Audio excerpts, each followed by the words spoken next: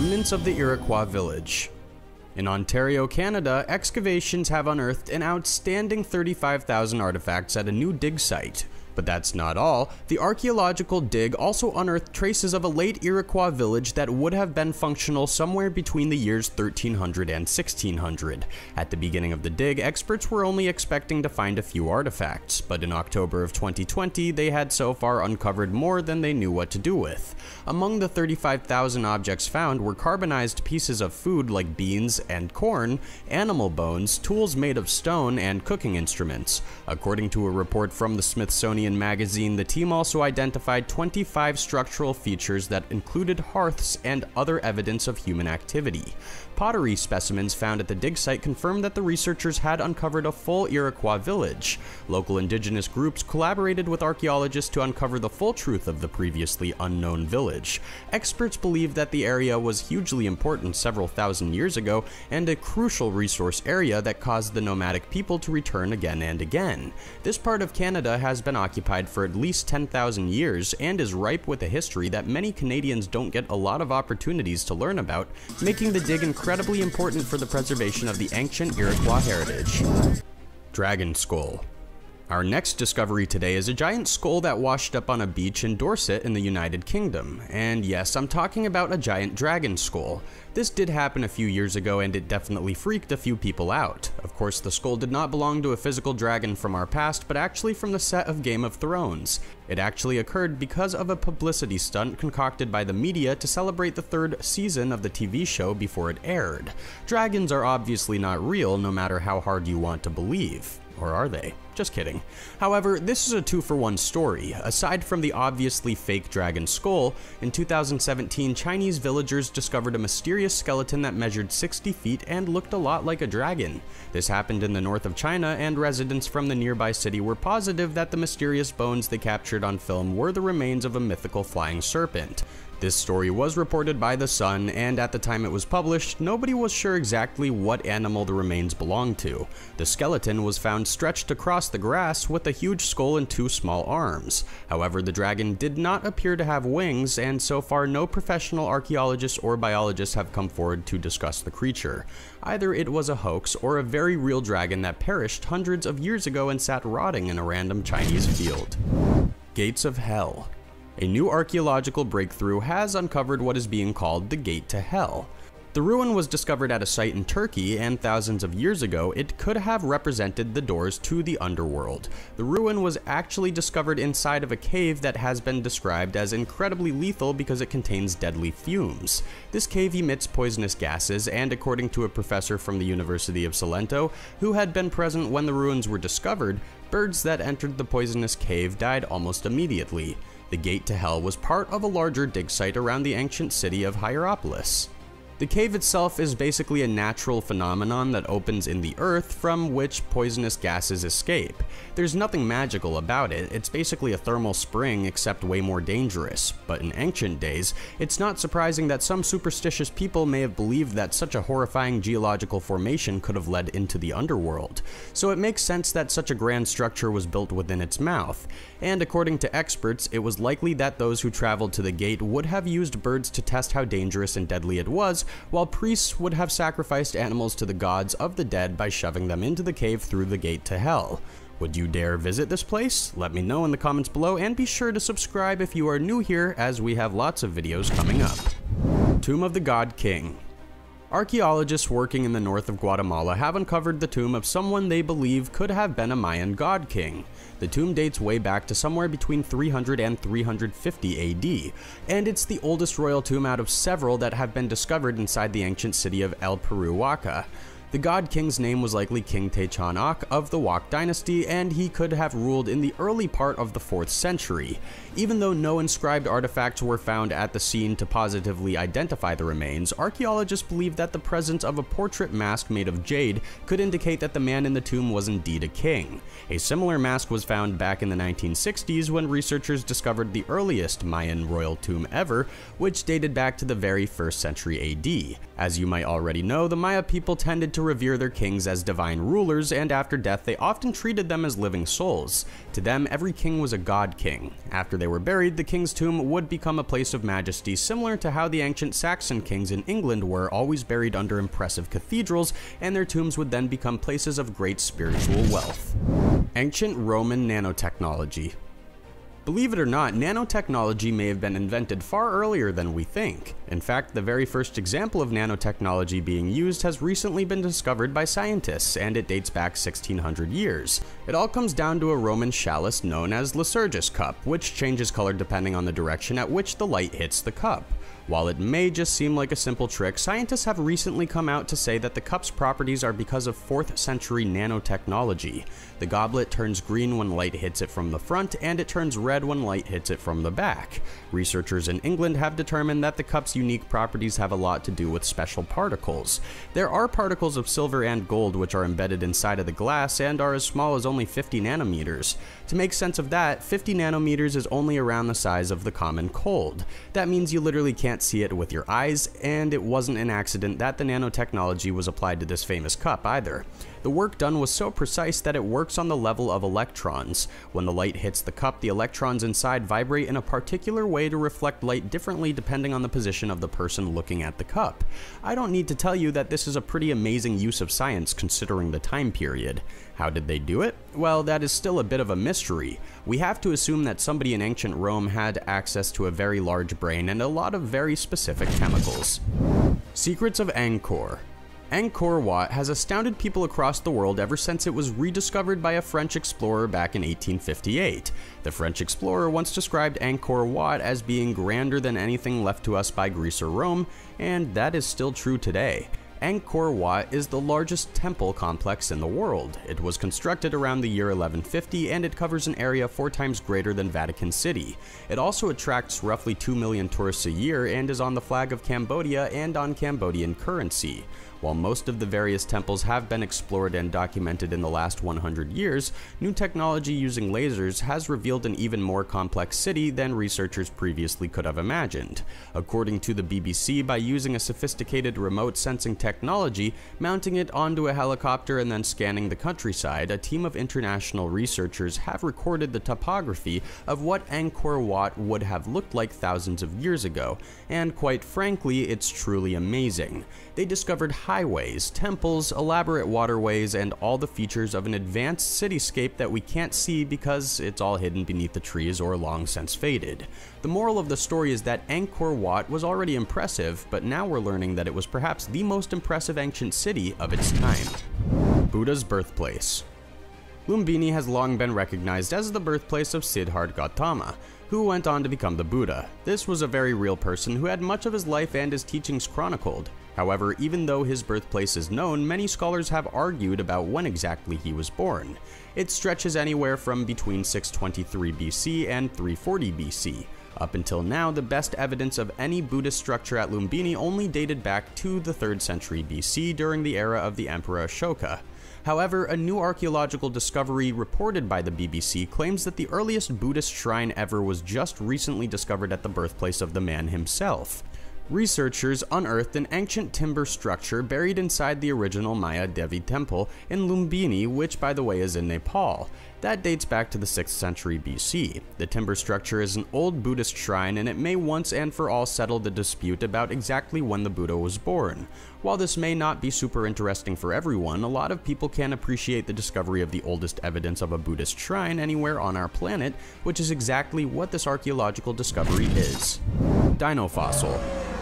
Let's move from Buddhism to the world of the dinosaurs. An incredible dinosaur skeleton has recently been found that dates back 110 million years, and while archaeologists and paleontologists find cool dinosaur fossils all the time that are really old, this one is so perfectly preserved that it looks like a statue. Just look at the skull on this beast, it's simply fascinating. It could honestly be a prop in Game of Thrones rather than a biological fossil. This piece of history was found in Alberta, Canada, which is home to one of the richest fossil deposits in the world. The dinosaur wasn't a T-Rex, but it was a very cool armored monster known as the Nodosaur.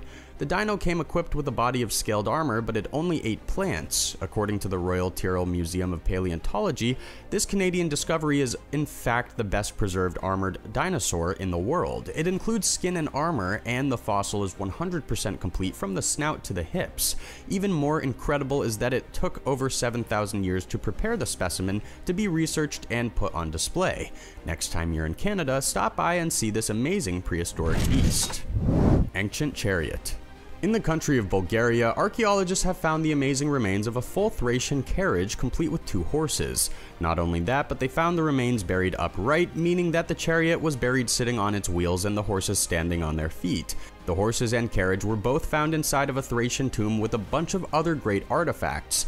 The discovery was also made close to the same location where the exact same research team uncovered a ridiculous hoard of gold just the year before, and even though the area had been pillaged by looters trying to strike it rich, the chariot and horses were completely untouched.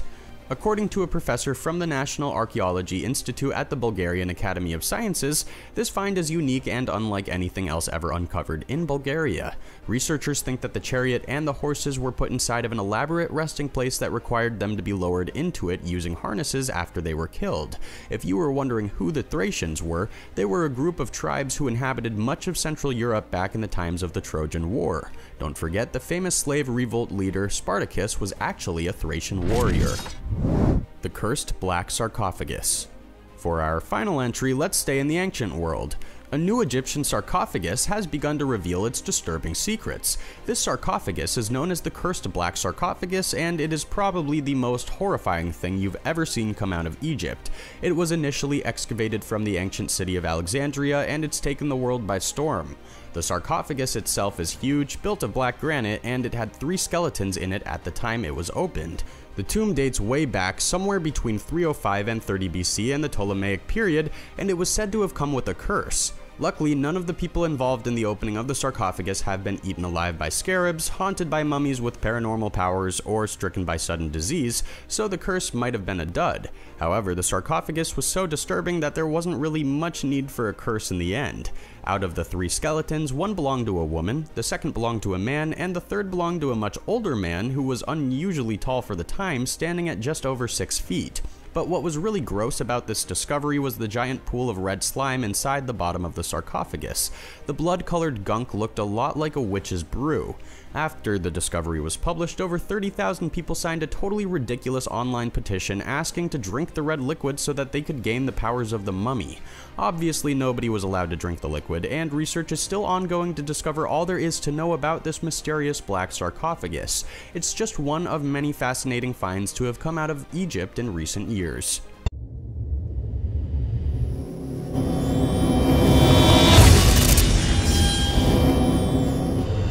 From the mystery of sunken cities scattered across the globe to a new discovery that could lead to Atlantis, here are 10 mysterious things found underwater. Pavlopetri Sunken City one of the oldest submerged cities in the world was found off the southern coast of Greece just a few years ago. Research from 2009 revealed that the sunken city of Pavlopetri covered at least 9 acres of land and was inhabited somewhere around 5,000 years ago.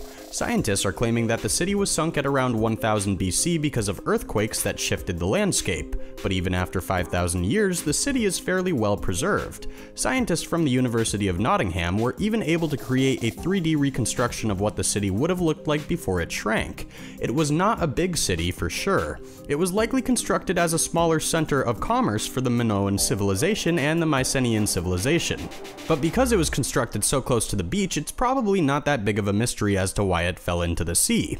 Researchers have so far discovered at least 15 homes, large storage containers built from clay, tools, everyday artifacts, and statues. And while experts are calling it the sunken city of Pavlopetri, the truth is that they don't actually know its original name, the exact role it played in the ancient world of Greece, or why it's not not mentioned in many historical texts. In all likelihood, this was a town that sprouted at the edge of the ocean, thrived for maybe 100 years, then was swept away and erased from the history books.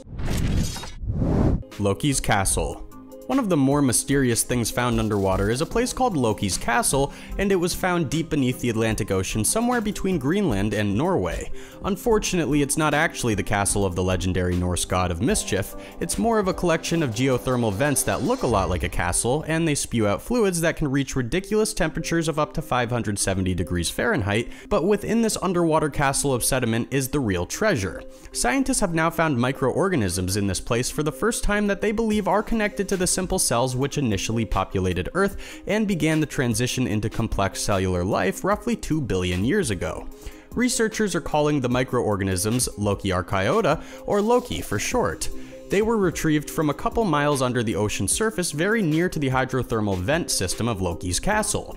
The discovery is providing some insight into how exactly larger and more complex cell types, the standard building blocks for plants and animals, evolved from simple microbes. This may all sound very confusing, but we're essentially talking about the missing link between the simple microbes dominant on our early planet and the complex cells that make up all life forms. According to an evolutionary microbiologist from Uppsala University, we now know know that the exact type of microbial ancestors we descended from, or grew out of. Microbial life originated on Earth somewhere around 3.5 billion years ago, but we did not have complex cellular life until 1.5 billion years later. Thanks to the discoveries at Loki's castle, now we have a better understanding of how exactly that transition occurred. Vandenberg Shipwreck if you found yourself diving off the coast of Florida, you might stumble upon the wreckage of the Vandenberg. This amazing vessel was sunk back in 2009 so that it could become an artificial reef. It's now sitting under roughly 140 feet 42 meters of water, 7 miles from Key West. At first glance, it looks like the shell of some great battleship, there are giant satellite dishes sprouting off the back of the ship, there's a flag still flapping in the watery currents, and now there are fish moving in where once there were men running about and shouting orders. The Vandenberg was the second largest ship ever sunk at the time to create a reef, and since then it has been the destination for lots of enthusiastic divers. Novice divers are able to check out the radar dishes, to swim along the artillery gun turrets on the old military ship, and more experienced divers can actually go into the cargo holds, exploring the elevator shafts and the hallways. This isn't really a mysterious find beneath the ocean, but it is still pretty cool. The largest radar dish on the ship was even used in the 1999 movie Virus when a laser blew the dish right off the ship. Of course, there won't be any more lasers attacking the ship now. The giant radar dish will instead be a shelter where fish can breed and live in peace. The Yonaguni Complex the Yonaguni complex is arguably one of the most mysterious things ever found underwater.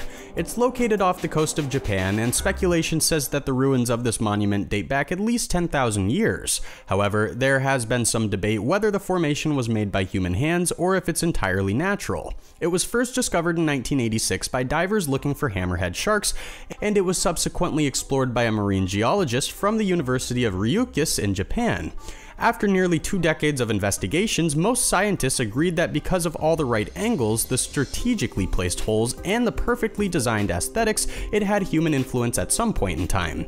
The complex consists of a huge pyramid in the center, what could have possibly been castles, some evidence of roads, and very eroded monuments. Some people are claiming this is the Japanese equivalent to the lost city of Atlantis. But the big mystery here is that if the complex was crafted by humans, who exactly crafted it? The monument itself is built of sandstone and mudstone, both of which date back at least 20 million years. It suggests that the monument was originally natural, but was then carved by people sometime during the last ice age. This was a time when what is now underwater was above land, and the location of the site was actually connected all the way to Taiwan. However, the Agency for Cultural Affairs in Japan denies that this place is a historical cultural site. Researchers and divers have made several trips to the site and claim to have found pottery and other evidence of human activity. It kinda makes you wonder what exactly it is the government is hiding. Underwater Spider if you were terrified of spiders already, wait until you meet the mysterious underwater spider that spends its whole life beneath the surface. This is known as the diving bell spider and it breathes air yet lives underwater. It can be found mostly throughout Europe and northern Asia, and it has unique scuba diving skills that it uses to weave silk webs under the water to create a bubble filled with air. These spiders basically create their own scuba suits so that they can live underwater and eat unsuspecting people. No, they don't actually eat humans, but they do like to munch on aquatic insects. They live inside their bubbles by constantly transporting air from the surface, which they trap using the fine hairs on their bodies, and then bringing the air into their web bubbles under the water. Inside these bubbles, the spider will hunt, mate, and lay its eggs. The only time the spider goes to the surface is when it needs to replenish its oxygen. However, the spider does have a few mysteries, the first of which is that the spider actually uses its bubbles as a physical gill that it can use to exchange gases within the water it lives in. This is quite similar to how a fish's gills work. Researchers from Germany experimented with bell spiders and aquariums, and through extensive research discovered that these spiders breathe about 70% of their needed oxygen using the physical gill of their bubble. The Skeletons of Roopkund Lake the remote Roopkund Lake in northern India contains a disturbing mystery. A British forest guide first found this lake back in 1942, and ever since then, experts have struggled to figure out why the small lake is filled with hundreds of human skeletons. The lake itself is a picturesque valley about 16,000 feet above sea level, usually frozen over with ice, and it's also known as Skeleton Lake. Over the years, a lot of theories have surfaced, but nobody is still 100% sure who the skeletons belong to or how they ended up in the lake. Back in the 40s, people originally thought the skeletons were the remains of Japanese soldiers from the war who died while crossing the Himalayas, but more recent evidence suggests that the bones are way too old for that. Some theories suggested an epidemic of disease, a mass ritual, or even a natural disaster. According to History.com, the leading theory was that a hailstorm struck a group of pilgrims, sent giant balls of ice crashing into their heads, and they ended up tumbling into the lake. There are approximately 38 skeletons inside of Skeleton Lake, and a recent study published in a Nature magazine says that there are three different groups of them. There are 23 men and women of Asian ancestry, 14 humans with Mediterranean ancestry, and a single individual from Southeast Asia. The skeletons were also found to be from many years apart. There are about 1,000 years separating each of the groups. This basically dispels all of the original theories, and it's only worked to boggle scientists even more. Lake Michigan Stonehenge if you can't make it all the way to England to check out Stonehenge, you might only need to take a trip to Michigan. Recently, in the middle of searching for some sunken ships, a professor of underwater archaeology from Northwestern Michigan College stumbled upon an ancient rock complex under the waves that looks a whole lot like Stonehenge. This happened in Lake Michigan, and the stones discovered are believed to be around 9,000 years old. One of the stones even has a carving of a mastodon on it, and these animals went extinct more than 10,000 years ago. It's really making scientists question who could have possibly built the structure in the largest lake in all of the United States and when exactly they made it. It must have come from a time before there was any water in the lake, and it must have been built by an ancient civilization on the continent many thousands of years before European explorers arrived. The most uncanny and mysterious part is that it looks exactly like Stonehenge, only smaller. Why were so many different civilizations building these ritualistic rock structures in ancient times? It really is quite a mystery. Ancient Greek Computer one underwater mystery that has been boggling scientists for years is something known as the Antikythera mechanism, also known as the very first computer. It sat at the bottom of the sea for over 2,000 years before it was discovered. The mechanism was originally retrieved from a shipwreck way back in the early 1900s, and scholars are still trying to make sense of the depictions on the device. What's really unique about the ancient Greek computer is that it appears to have traces of technology that are far too modern. For example, it seems to have gears with triangular teeth like you would find inside of a clock, and it even appears to have a ring divided into different degrees just like the protractor you would use in class. When comparing it to other artifacts from antiquity, nothing as sophisticated has ever been found. To date, most scientists can agree that the mechanism was used for tracking the paths of the planets, the sun, and the moon. And of course, there are some fringe scientists who have claimed the mechanism came from an alien ship. Unfortunately, it most likely did not come from space. The mechanism is about the size of a clock, and judging by the fragments found, it was probably housed in a wooden case. After scrutinous inspections of all the interior inscriptions and dials, experts have figured out that the device was likely nothing but a very fancy calendar with a lot of moving pieces. It would have showed the celestial time of the sun and moon, along with their phases, and even the timing of lunar and solar eclipses. According to Smithsonian Magazine, researchers also believe that one of the mechanisms showed the timing of major athletic events such as the Greek Olympics. SS Gairsoppa a deep sea exploration company recovered roughly 48 tons of silver from a British ship that had been hit with a torpedo back in World War II. The name of the boat was the SS Gairsoppa, and it was sunk off the coast of Ireland in 1941. Since then, it sat over 15,000 feet under the ocean. To date, this is the heaviest recovery of metals ever from a shipwreck, and apparently, the company is going to be keeping 80% of the haul after expenses and after giving 20% to the British Treasury. They literally pulled up crates and crates of precious metal that are worth a fortune. The Daily Mail reported that the exploration team brought up at least 1,200 bars of silver worth roughly $37 million. The biggest mystery here is why nobody went scrounging for the silver sooner, and how many more precious vessels are scattered around the islands of Great Britain and Ireland.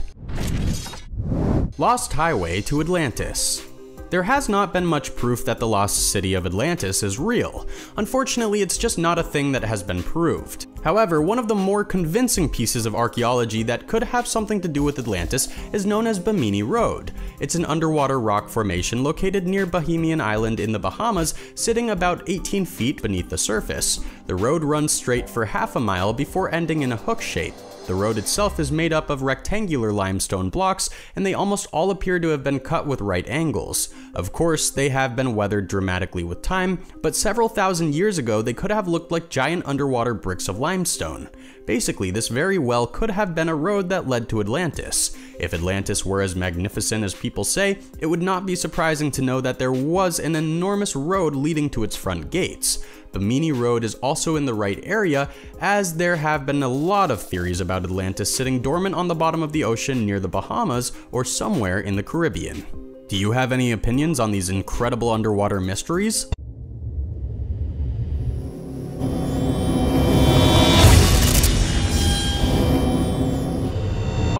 Blueberry Earth out of all the discoveries on the list, I have chosen the weirdest to start us off. This discovery has no basis in reality, but it is pretty cool.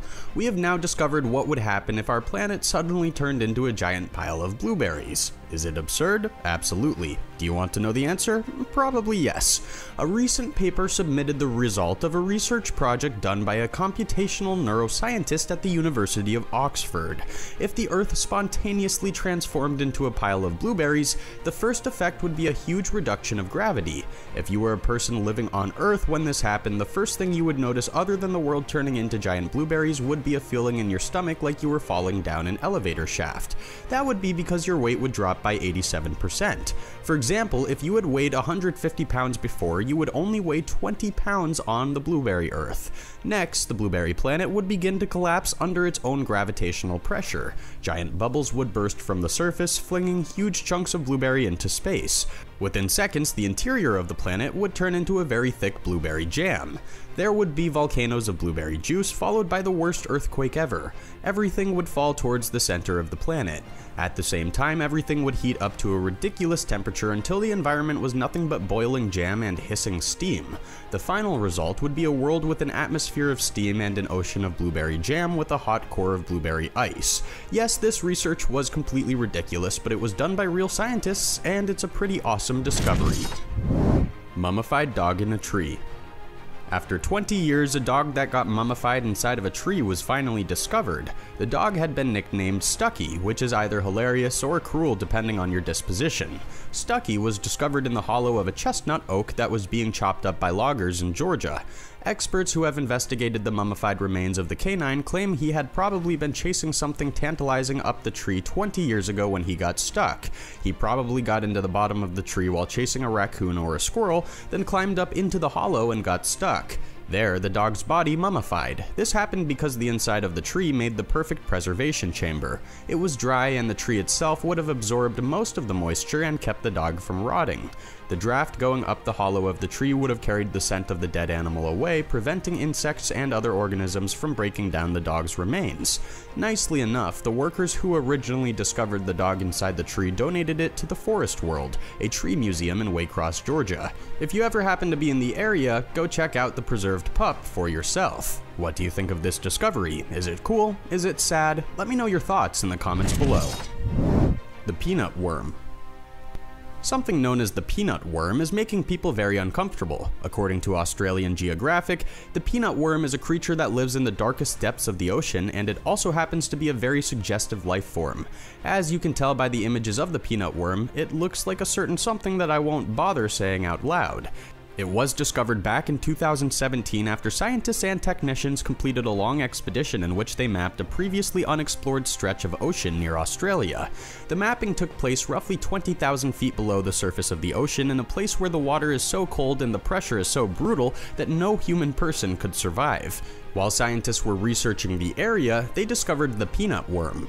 Apparently, this worm has not changed much in the last 40 million years. That's because at such a depth, most of the life that thrives in the abyss has had no need to change and is basically unaffected by everything else going on in the surface world. Peanut worms are not very large. They reproduce asexually or sexually, depending, I guess, on their mood. They usually live in shallow burrows or in the discarded shells of other critters, making them basically impossible to find. It's like trying to locate an earthworm at the bottom of the ocean. Even after the team found the peanut worm, they couldn't 100% identify it as a new species. There is still a bit of research to be done before it's official. However, researchers are hoping that once the peanut worm is designated as a totally new species, it will keep the name for future generations to enjoy. Mole rat kidnappers.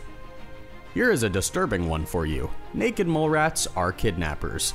People all over the world love these critters because of their weird superpowers, their horribly ugly features, and their explicit nudity. But new information is saying that mole rats actually kidnap the babies from rival colonies and then turn them into slaves. Mole rats are already considered freaks of nature, especially since they are supposedly immune to pain, they define the aging process, and they can live for a startling amount of time without oxygen. Now that we're adding kidnapping to the list, mole rats are freakier than ever. What you might not know about these animals is that they are highly social.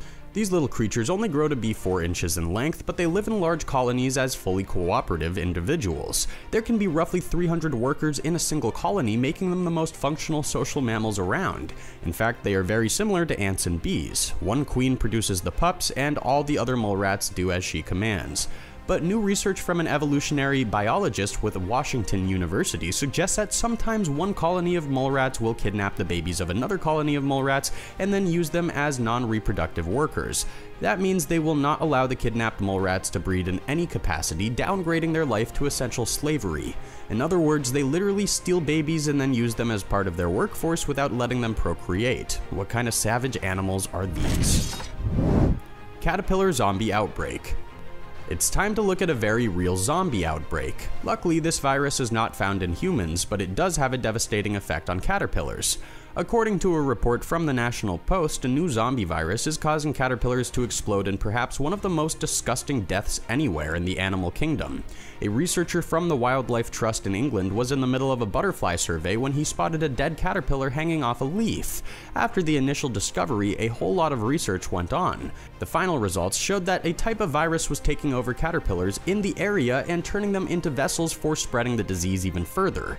It's known as the baculovirus, and it stops the caterpillar from being able to molt, which encourages the caterpillar to eat and get larger, which in turn creates more virus inside its body. And here's where things get nasty. When the caterpillar is big and fat and full of more virus cells, this triggers something in its brain, forcing the caterpillar to climb high onto a leaf. Then, before it can die, the virus will release a special enzyme which liquefies the tissue of the insect. If the caterpillar is lucky, it will be quickly eaten by a bird that spots it from the sky. If the caterpillar is not lucky, its insides turn to liquid and it explodes. When it explodes, the virus rains down from the leaf, infecting whatever insects are unfortunate enough to be caught in the storm of caterpillar guts. As you can imagine, this is pretty horrific. It probably does not mean the end of all caterpillar life in the world, but it's kind of amazing that there's an actual zombie virus taking over the brains of caterpillars and causing them to explode. The infamous water bear.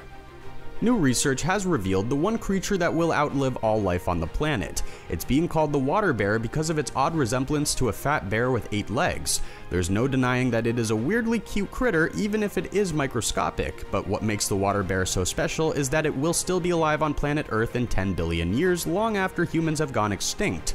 It's known properly as the tardigrade, and this little critter will continue to thrive until the sun stops shining. New research has found that every catastrophic event that has ever plagued the Earth has done literally nothing to stop the water bear from surviving and thriving. It's basically indestructible, and it has fascinated scientists for years. The critter can go about 30 years without food, it can endure temperatures far past the boiling point, and it can stay alive in the inhospitable vacuum of space. A study from the Oxford University shows that the only way to wipe out the water bear would be to boil all of the world's oceans, but that is impossible even in the worst case scenario. An exploding star would need to be 0.14 light years from us to produce enough energy to boil all the water on Earth, and that's impossible. While it is definitive that the water bear is essentially the pinnacle of evolution, dating back over 500 million years and still going strong, the most exciting thing to come from this bizarre discovery is that water bears are the perfect example of how alien life can thrive on inhospitable planets. Theoretically, creatures similar to the water bear could live on inhospitable planets with poisonous atmospheres and extreme temperatures, and they could give way to life far more complex and extreme than we could ever imagine. Of course, I'm talking about lava monsters. Hot Universe a new study from Ohio State University has shown that the universe is getting hotter. That's right, not only is the world heating up, but the entire universe has been getting hotter for the past 10 billion years. The study probed the thermal history of the entire universe and found that the mean temperature of gases across the expanse of space has been increasing. Apparently, the universe is 10 times hotter than it was 10 billion years ago. The reason why is incredibly interesting. As the universe has evolved, gravity has continued to pull dark matter and gas together to form galaxies and galaxy clusters. As all of this happens, the drag of all that matter being forced into galaxies is so violent that the gas is heated up. While the vacuum of space is still cold enough to freeze you in seconds, the gas farther away in the universe is getting hotter and hotter. However, because the universe is constantly expanding, the gases that are the hottest are the ones that are the farthest away, so we will probably never come into contact with them ever. Secret Cinema a secret cinema has been discovered in the most unlikely place. Beneath Paris, there are hundreds of miles of tunnels, the majority of which are sealed off to the public. While on a training exercise, members of the Force Squad, who are responsible for policing the catacombs and tunnels beneath Paris, came upon a closed door marked building site, no access but they knew there was no actual building site there, so the Force members broke through the door, where they then found a tunnel leading to a desk, and beyond the desk, a giant cave that had been cut into the rock to create an underground amphitheater. It had a full-size video screen, projection equipment, and a huge variety of films. There was even a smaller cave that had been transformed into a restaurant and bar fully stocked with whiskey and other spirits. According to a news report from The Guardian, when police came back a few days later with experts, the phone lines and electricity lines had been cut, and the mysterious underground society who had been running the secret cinema had left a note on the floor warning the police not to try and find them. Then, a photographer who claimed to be close to the group told a local radio station that the authorities have no idea what's really located in the tunnels beneath Paris. Even though they shut the one cinema down, he claimed there are at least a dozen more just like it. The oldest artwork. The oldest figurative artwork ever has been found in a cave in the Borneo jungle. In terms of famous artwork, this one definitely isn't going to win any awards. It's a simple cave drawing that depicts wild cattle and was painted using iron oxide. The painting is impressive because it was created roughly 40,000 years ago and the cave in which it was found even had more recent hand stencils of human figures that researchers believe to be roughly 20,000 years old. Even though the drawings were initially discovered in 1994, the findings were not announced until recently in a scientific journal. The researchers still don't know who the mystery civilization was that created such drawings previous to the last ice age. If you want to talk about the oldest artwork ever, researchers believe it to be a series of red lines that date back roughly 73,000 years. But this stuff is little more than early humans painting the walls of a cave with their hands, not intentionally creating images of figures. Surprising Gibbon when archaeologists excavated the tomb of Lady Xia in 2004, the grandmother of the old Chinese emperor Qin Shi Huang, they discovered something seriously unexpected. Not only did the tomb contain Lady Xia's burial, but it also contained 12 pits stacked up with animal remains. They found the skeletons of a leopard, a lynx, a black bear, a crane, many domesticated mammals, and a mysterious gibbon. It's the gibbon that is really exciting. This is because there are only six living species of gibbon that are native to China. The newly found skull inside of the tomb did not belong to any of the living species. Scientists had to give it a new genus and a new species name. They ended up calling the gibbon Junzi, which is the Chinese term for gentleman, as gibbons were thought to be noble throughout much of Chinese history. But the big mystery here is how the creature got into the tomb and what happened to its species. The burial site is at least 2300 years old, and the gibbon has since gone extinct. In fact, it's the first ape on record, according to Live Science, that has gone extinct since the last ice age. According to a professor of biology at the University College London, the gibbon likely lived in China during the time of Lady Laodicea, but it went extinct quickly after because of human activity and environmental factors. From a random glowing rock to a woman found inside a tree, here are 10 of the strangest things found in unexpected places. Glowing rock. While a man was searching for rocks on a beach in Michigan in 2018, he stumbled upon a mind-blowing discovery. Sitting among the thousands of ordinary pebbles on the shore of Lake Superior, the guy found a glowing rock. According to a report from CBS News, this guy found what is known as Yooperlite, and it's a rock that glows in such a way as to make it look like a fluorescent orb, or there is lava glowing through the cracks in the rock. It almost looks like something you would expect to find on an alien planet. After this guy found the rock on the beach, he went online to try try and get some info but couldn't find any. So he went back to the beach with a blacklight and discovered that there were dozens of them along the shore. He filled a bag with them, then posted them for sale online. One of the buyers was the Michigan State University. They purchased some of the rocks to study and after several months determined that the guy on the beach had happened upon a totally new type of rock. He's now being called the Christopher Columbus of rocks. He is even giving out tours at Lake Superior where you can find your own Yooperlite rock. Man grows into a tree. You can't go very far outside without bumping into a tree. You expect to find trees everywhere, but the last place you expect to find a tree is growing out of a guy's stomach inside of a cave. This next story is totally bizarre. A man was murdered roughly 40 years ago and was never found, until recently. A seed from a fig tree that had been in his stomach gradually grew for 40 years into a large tree. The guy was killed during the conflict between the Greeks and Turks in 1974, a conflict that displaced at least 200,000 people. His body body was apparently taken into a cave to be disposed of. Because this guy had eaten a fig previously to being murdered, it started to grow in his stomach after he died using the scant bit of light coming into the cave. Then, the tree was found in 2011 by a researcher who was curious about how it had ended up inside of a cave.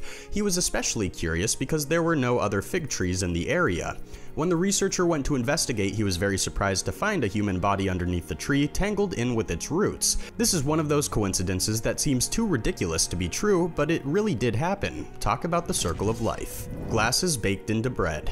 Nobody purchases a loaf of bread expecting to find a pair of glasses in it, but that's exactly what happened back in 2016 when an unsuspecting customer purchased a loaf of bread, went home, and found the baker's glasses baked into it. I'm not even sure what to categorize this under. It's ridiculous, goofy, and definitely unexpected. The photo was originally posted online by a Reddit user, and since then it has gone viral. However, the baker has yet to come forward claiming responsibility for this bread mishap.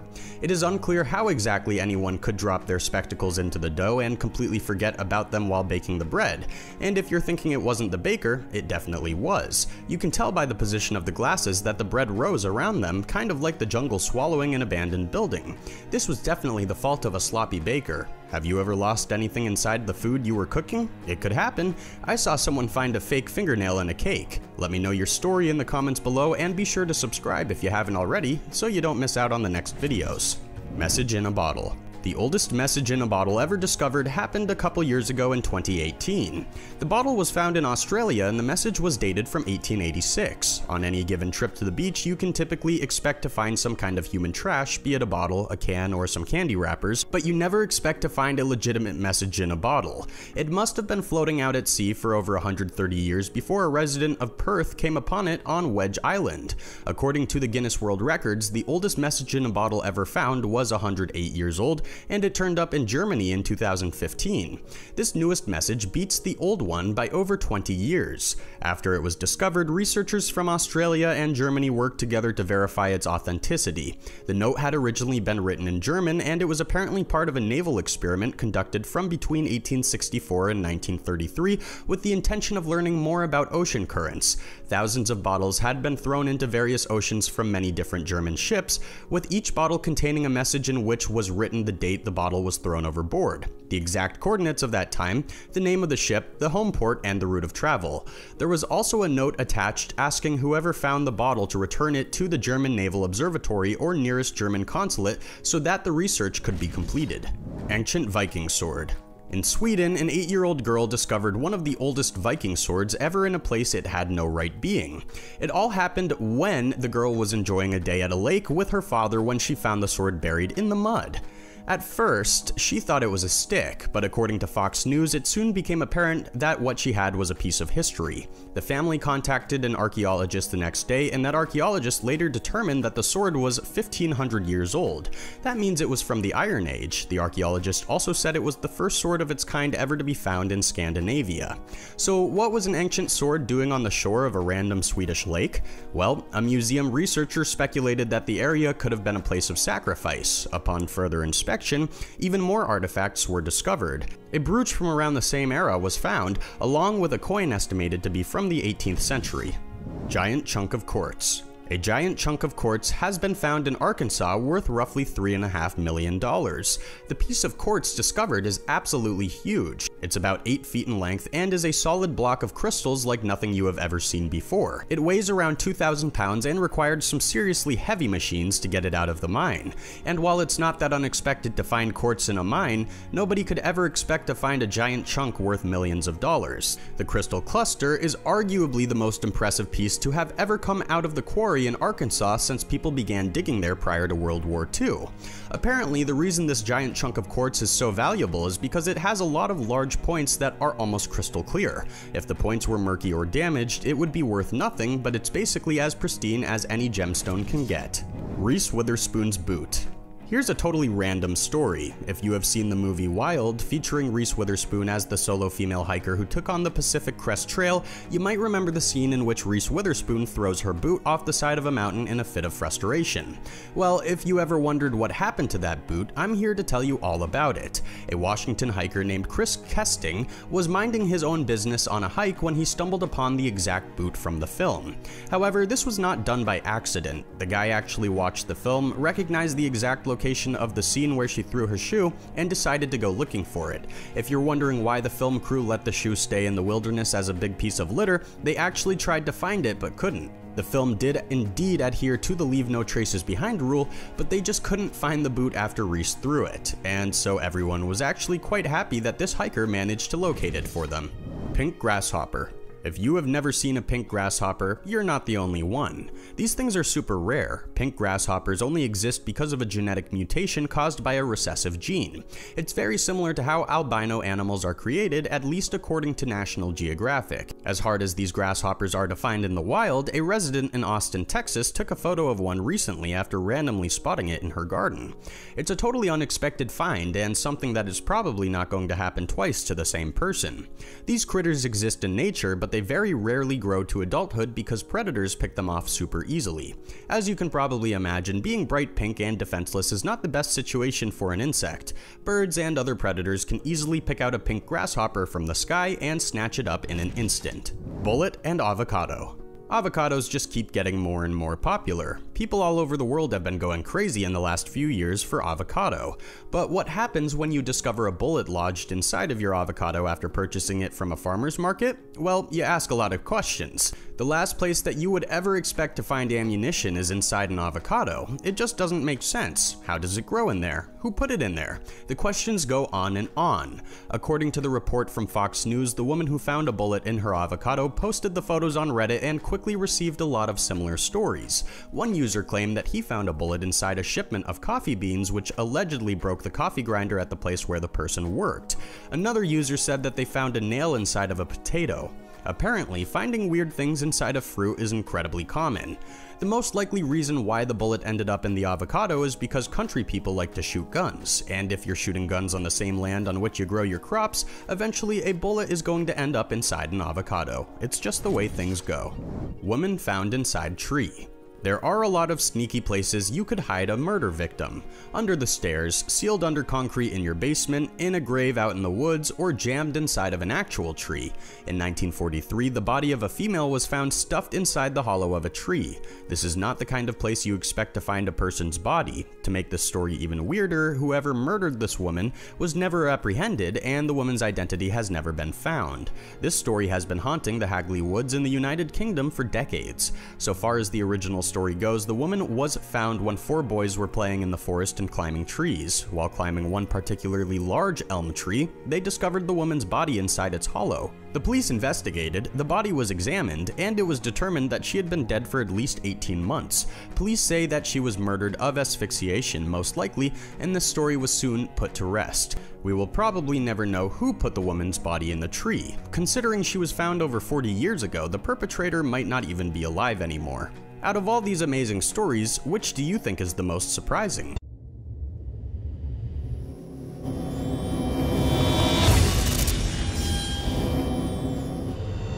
From an unexpected fortune hanging on someone's wall to some pretty strange revelations from the world's deepest well, plus the oldest winery ever, here are 10 incredible and unexpected discoveries. New Pterosaur Pterosaurs were winged beasts from the age of the dinosaurs, ranging in size from as large as a fighter jet to as small as an ordinary bird. And while we have known about these flying beasts for a very long time, a team of paleontologists from the United Kingdom discovered a new species of tiny pterosaur completely unexpectedly. This new dinosaur would roughly have been the size of a turkey, but it would have looked a lot more like a modern kiwi. Scientists were incredibly surprised when they discovered the fossil. In fact, they first thought that it was part of a fish, but paleontologists from Portsmouth University and Bath University got together to study the fossil and came to the conclusion that they had discovered a piece of a beak belonging to a whole new prehistoric bird creature.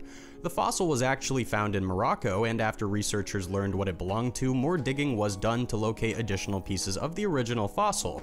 Project researchers then discovered the lower jaw, which matched to the first part found.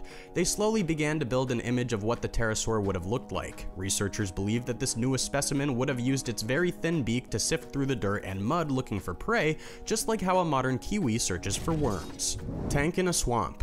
Deep in the forest of Estonia, a young boy made a rather unexpected discovery when he stumbled upon an old path leading straight into a remote lake. The boy noticed immediately that the tracks in the mud did not look natural. He alerted his parents, who then told their neighbors, and soon pretty much everyone in Estonia was standing at the edge of this lake trying to figure out what exactly was down there. As it turned out, there was a giant tank hidden inside of the water. The villagers had to bring in a bulldozer and some ropes just to yank the enormous military vehicle out of the mud. How exactly the tank got into the swamp in the first place is a bit of a mystery. Considering the tank was from World War II and in basically perfect condition, it probably got abandoned in the lake so that the Soviet enemies could not get a hold of the vehicle and use their own technology against them. The tank pulled from the lake was a Soviet T-3476A, and back in its day, it was a deadly piece of machinery. What exactly the villagers did with the tank has never been reported. It's doubtful that the thing could run after so long underwater. Maybe they just took some selfies and then went back home. Unexpected moon water.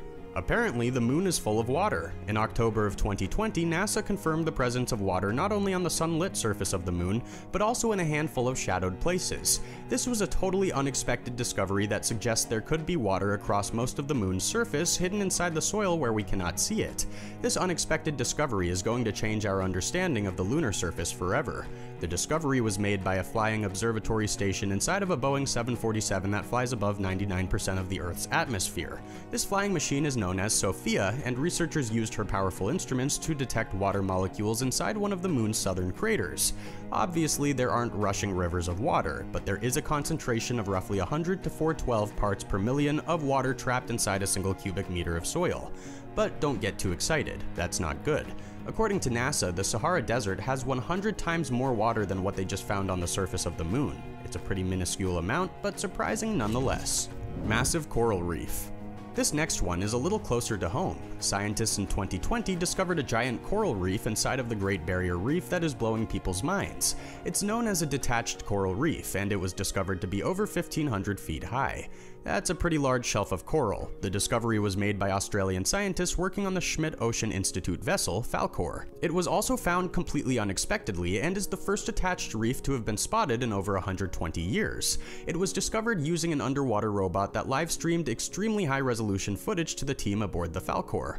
While you might be thinking just how boring a giant coral reef is, it's really quite exciting. It shows that even as we continue to explore the ocean, we keep finding new and unknown structures and life, because that's what this giant reef really is. It's a massive and complex ecosystem standing like a coral apartment complex far beneath the restless ocean waves. Rare Penny if you're sick of science, check out this unexpected discovery that made a boy very wealthy. The boy I'm talking about was only 16 years old when he went to school one day and found that he had a strange penny in his lunch money. It was definitely a penny, but even the kid could tell there was something off about it. As it turned out, the kid was holding in his hand a 1943 Lincoln penny. The penny that he had received in the change from his lunch money was one of only 20 copper coins that had accidentally gotten produced during the Second World War as part of a serious manufacturing error. These coins have been described as the holy grail of mint errors by Heritage Auctions. They are now the crown jewel of any coin collection in America. While only a handful of them have been legitimately identified, there are still believed to be around 10 or 15 floating in circulation somewhere.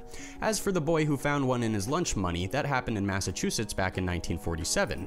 He held on to it for 72 years before passing away, at which time his descendants sold it for $204,000 at Heritage Auctions.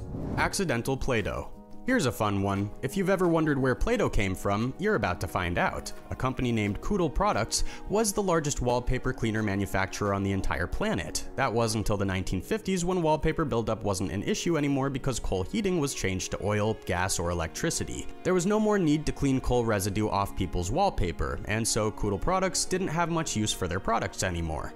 But that was when a nursery school teacher related to the owner of the company made a rather unexpected discovery. She opened up the paper one day and saw an article about how wallpaper cleaner could be used for modeling projects. This random discovery would change the face of the company forever. Rather than cleaning wallpaper with their product, they realized they could just change it and market it as a modeling compound for kids. That's when the company really started to make money. Fortune magazine has reported that Play-Doh has sold over 3 billion cans since it debuted in 1956. That's over 700 million pounds of Play-Doh. The deepest well.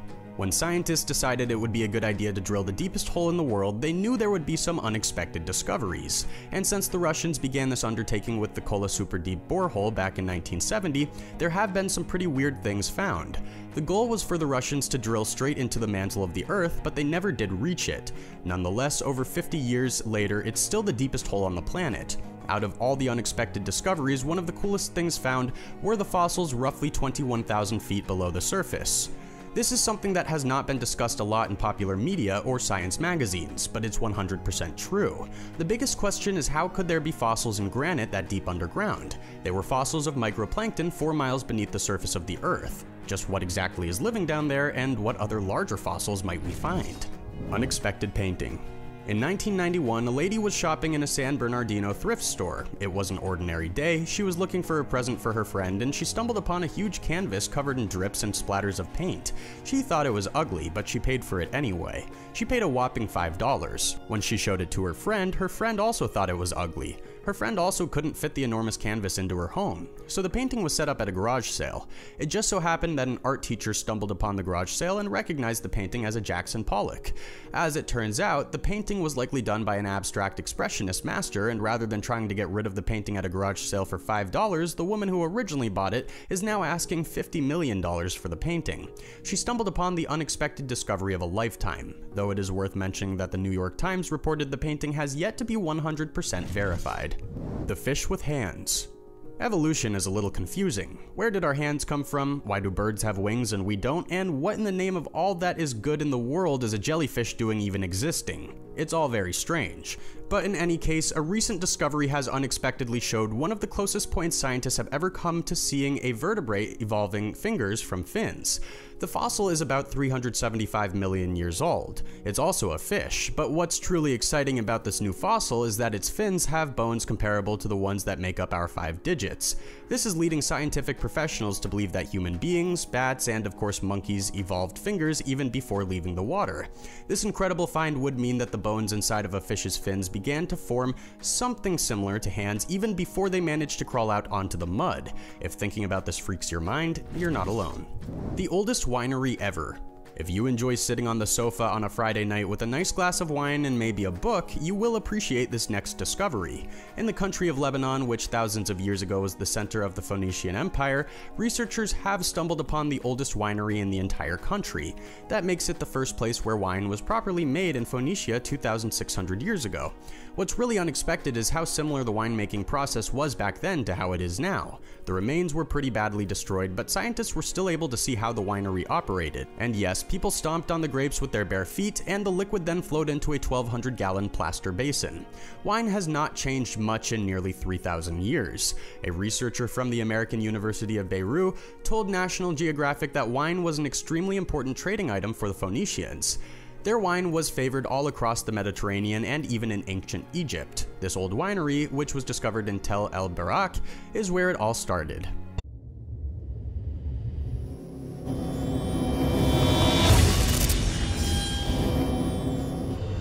From the infamous legend of the Lost Dutchman to the mysterious Spanish gold mines of Ecuador, here are 10 of the most impressive and famous forgotten gold mines. The Lost Dutchman Gold Mine. Undoubtedly the most famous lost gold mine in Arizona is the Lost Dutchman. In the late 1800s, when the gold rush was reaching its limits, a German prospector supposedly began showing up in the city of Phoenix with a ridiculous amount of gold ore. According to the historical reports, this guy definitely existed, but whether or not he really did have massive amounts of gold ore is unknown. He apparently started telling people that all the gold he had acquired came from a secret mine located in the Superstition Mountains. However, the German man refused to reveal the mine's location to anyone, and he eventually died in 1891. Seeing how hungry for gold people were back then, it's no surprise that for the following years, people from all over Arizona searched long and hard to find the Lost Dutchman mine. There were failed expeditions, fake maps being sold, and all kinds of rumors. In 1895, there was even a story about the mysterious mine in the San Francisco Chronicle. However, to this day, nobody has ever found the Lost Dutchman gold mine, and other than a few die-hard treasure hunters, the mystery of Superstition Mountains and the hidden gold has been forgotten. Lost Spanish Gold Mines Far from Arizona in the South American country of Ecuador, a Canadian miner has reportedly discovered the remains of a long lost road that could lead the way to a forgotten mining center used by Spanish colonizers. The discovery was made by field teams searching for one of the historical gold mining centers supposedly in the area, described in ancient papers from Ecuador, Peru, Spain, and even the Vatican. Spanish colonizers apparently operated very successful gold mines in the area between 1565 and 1606.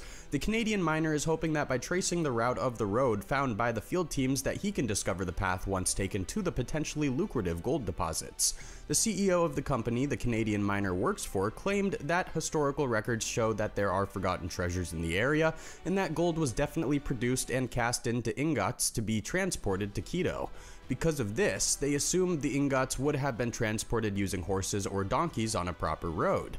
The mining company believes that at the end of the newly discovered road is a lost wealth of gold. Because this story only just surfaced in 2019, no gold has yet to be found, but it is a very real possibility that somewhere in the Ecuadorian wild is a forgotten gold mine worth a literal fortune. Secret gold mine under the mountains.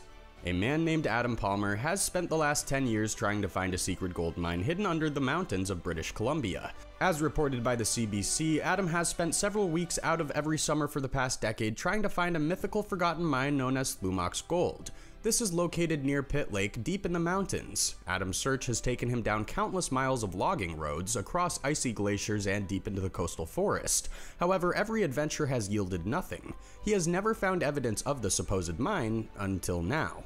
Adam now believes that as of 2019, he knows where the gold mine is hidden. It's in a remote alpine meadow flanked by jagged mountains not farther than 31 miles, 50 kilometers from Vancouver. After Adam found an abandoned log cabin, a rusty shovel, and an old chisel, he believes that he's now very close to the location of the mine. Of course, thousands of people have searched for the forgotten mine over the years, apparently worth billions of dollars, and nobody has ever found it.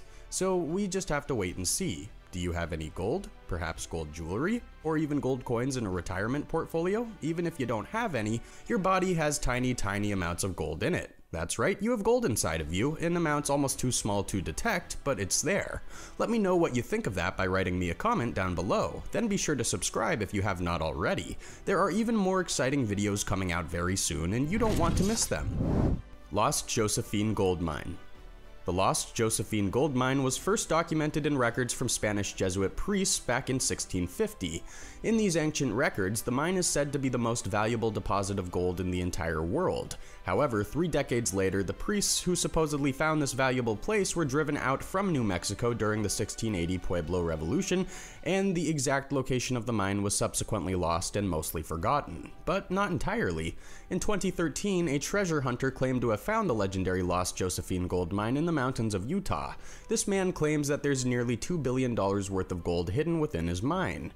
His name is Gary, and he thinks he and his sons are about to get rich. As of 2013, they were just getting the federal government to award them permission to dig for their prize, but as reported by the Daily Mail, the United States Forest Service officials have repeatedly said that the mine does not exist. The officials also don't really like it when treasure hunters deface the natural caves to search for a treasure that's been forgotten for hundreds of years. Nonetheless, Gary and his son obtained a mining permit and got digging, but they have yet to find any gold. Considering this was back in 2013 and Gary still is not rich, it might be safe to say he's digging in the wrong spot. Leech River and the Lost Cave of Gold. On Vancouver Island in British Columbia, there is a place called Leech River. The river is named after an Irishman, Peter Leech, who came to British Columbia in 1858. According to BC Gold Adventures, Peter Leech found gold near the river in 1864. After his initial discovery, the entire town was flooded with gold miners, and in less than a month, at least 3,000 men had come along to reap the rewards. By 1876, an estimated $100,000 of gold had been recovered. However, actual value is undetermined. Most of the gold in the area was dug out of crevices in the bedrock or from the riverbed, but according to legend, there is still an untapped source of gold in the area. There is supposed to be a small cave with a massive vein of gold extending deep into it, but nobody knows where it is. The first guy who found it apparently went on a drinking binge, and when he woke up, he could not remember the location of the cave filled with gold. Today, the cave still remains a half forgotten legend that may or may not exist. The abandoned gold mines of Death Valley. Death Valley in California is one of the most inhospitable places on the planet. It boasts some of the most extreme temperatures that you can imagine. Death Valley was also once full of gold mines. For a few decades in the early 1800s, Death Valley was full of gold miners, but it didn't last for long. No large production of gold ever occurred, and eventually most of the mines were abandoned. But after the decline, there was a sudden spike of interest in Death Valley around 1900. Of course, this did not last long either because the 1907 financial crises brutalized all the mining operations in the USA, and by 1915, all gold mining in Death Valley was over. Today, the remnants of a short lived mining industry are mostly forgotten. The entirety of Death Valley is now a national park, and its history of gold has been more or less forgotten by the public. However, it is widely believed that some gold could still be found in the area, but nobody will ever find it because all prospecting and mining has been banned, as Death Valley is now considered a national monument. The Lost Bill Kelly Mine in West Texas, the Chihuahua Desert is a pretty miserable environment. This place was the death of many early pioneers who disappeared in its extensive mountains or were killed by the Apache.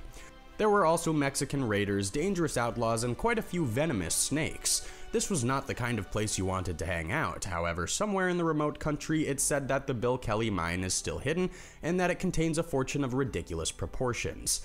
Bill Kelly supposedly found his gold mine at the age of only 19 way back in the late 1800s. He had been living on a cattle ranch when he stumbled upon the gold mine in the mountains, and after telling the people he lived with about it, they simply laughed at him. So Bill went and got some of the gold that he found appraised, and it turned out that it was worth a fortune. Bill ended up running from the cattle ranch out of fear that the people he lived with would kill him and steal the location of the gold mine, and for the rest of his life, Bill passed from cattle ranch to cattle ranch, every now and then passing on the story of the mysterious gold mine until his death. It was never properly mined, but so many people found out about it that it became a legend in West Texas. Today, it's said that the Bill Kelly mine is on the Mexican side of the Rio Grande. Many men have claimed to have found the mine, but there has been no evidence of it. Whether the place truly exists or not is anyone's guess, and the legend of Bill Kelly has mostly been forgotten. Forgotten Yukon Gold Town not only do mines go forgotten, but so too do the towns that once catered to the gold miners. In the Yukon Territory of Canada, a place called Keno City is perhaps the most forgotten gold rush town in existence that still has a population.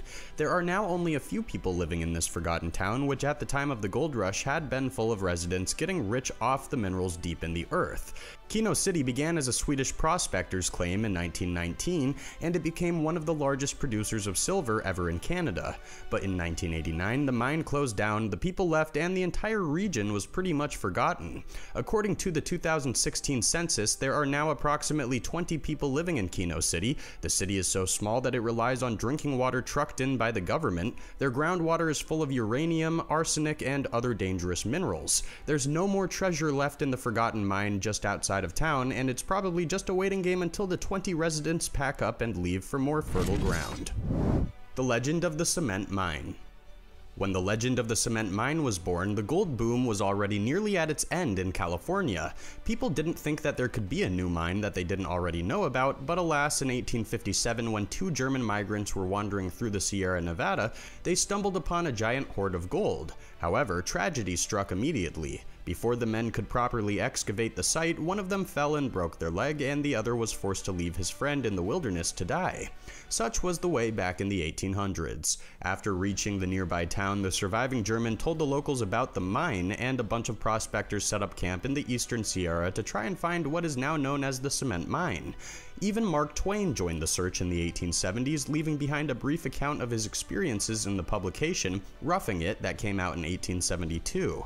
Even though so many people went in search of the lost cement mine, it was never found. In 1980, a plaque was installed near the Owens River Road with a dedication to the prospectors and the mystery surrounding the elusive treasure.